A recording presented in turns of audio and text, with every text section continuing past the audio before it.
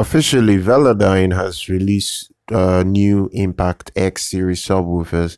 This is their Model X10 as well as their Model X12.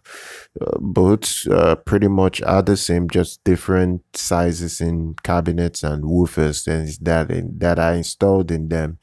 Uh, basically, they, they they do have um, double. Uh, uh, magnet uh, structure in their build. They have double ventilation. Uh, it's it's it's very easy to to to assess the size because it's not that big. Uh, the the respective drivers in each of them. One uh, the 10 inch model has a 10 inch driver, while the 12 inch uh, the X12 has a 12 inch driver, which I think is uh, quite good if you are looking at uh, that factor to to assess whether you want to get one of the other. Now, other thing here you can expect is um, you have the same voice coil uh, with a four layer widening on a two inch frame. The architecture of the cases is made out of MDF. Uh, it's classic in its design. It also has a cubic shape in its design.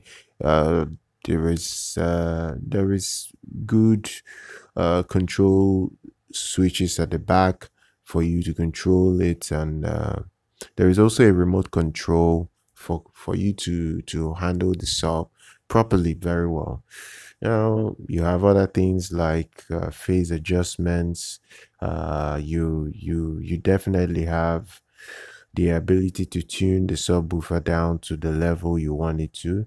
The the the amplifier in in each of them is 250 watts for the 10 inch and 300 watts for for for the for the 12 inch. So they are very good in what they can both do. Uh they have decent output. They are not the best. They go down as low as they can go and um, they are good for what they they can do at the at the price that uh, one can afford them.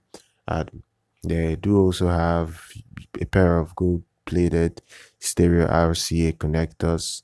Uh, it's it's really good for what it is. The X10 will be priced at 800 euros, while the X12 will be priced at 900 euros. So I'm gonna drop uh, link and Um, everything in between about the specs in the description. If you want to see that subscribe to the channel. I'll see everybody very much next